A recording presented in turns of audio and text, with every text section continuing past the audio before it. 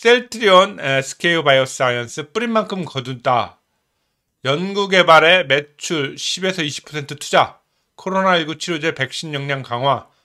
유한 아, 대웅도 기술 수출 신약 성과 이렇게 했고요. 음, 우리가 뭐 여기에는 지금 3,979억 원으로 나오는데 셀트리온에 요거는 어, 연구 어, 비용 정부에서 받은 거를 빼서 그렇고요.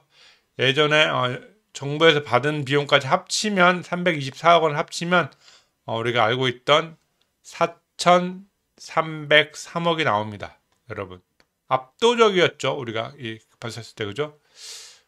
어, 매출액은 1조 9천억 어, 그리고 어, R&D 비용은 4,300억 유한 양행이 어, 1,782억 원 대웅제약이 1,758억 원, 어, 995억 원, SK 바이오사이언스.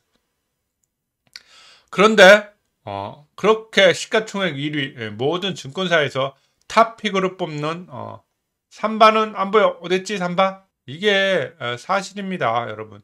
삼바는 없어요. 근데 뭐 주식시장을 어, 주가로 말하는 거니까 어, 3바 지금 넘버원 어, 인정합니다. 하지만 어, 여러분들 이런 매출액 대비 연구개발비를 보면 어, 지금도 압도적인 1위이지만 어, 신약부터 해서 바이오 시밀러, 바이오 베타, 그죠? 셀트리온이 어, 압도적이거든요. 그리고 연구 비용, R&D 비용도 이렇게 압도적으로 지출하고 있고 이거는 곧 어, 매출과 영업이익으로 나올 수밖에 없는 거죠. 나올 수밖에 없습니다.